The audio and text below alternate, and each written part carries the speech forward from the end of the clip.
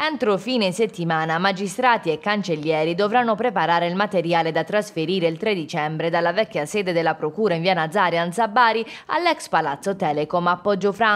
Si prevede un tempo di circa due settimane per svuotare gli uffici. Dal 31 dicembre, come stabilito dalla proroga dell'ordinanza del Comune di Bari, nessuno potrà più entrare nel palazzo dichiarato inagibile a rischio crollo. Proprio a Poggio dove saranno trasferiti nei prossimi mesi in quattro diversi piani, la Procura della Repubblica e le sezioni dibattimentali si stanno ultimando gli allacci per gli impianti elettrici del gas e alla rete informatica, ma i lavori per le aule di udienza del Tribunale richiederanno ancora del tempo perché solo all'inizio. La giustizia penale barese quindi continuerà ad essere amministrata in cinque diverse sedi, con i magistrati inquirenti a Franco, gli uffici centralizzati della Procura e le cancellerie del GIP in via Brigata, il riesame in piazza De Nicola, le udienze preliminari a Bitonto e il tribunale a Modugno, dove da poco sono ricominciati i processi ordinari dopo mesi di sospensione. Una situazione davvero drammatica che sta passando nell'indifferenza della cittadinanza e della politica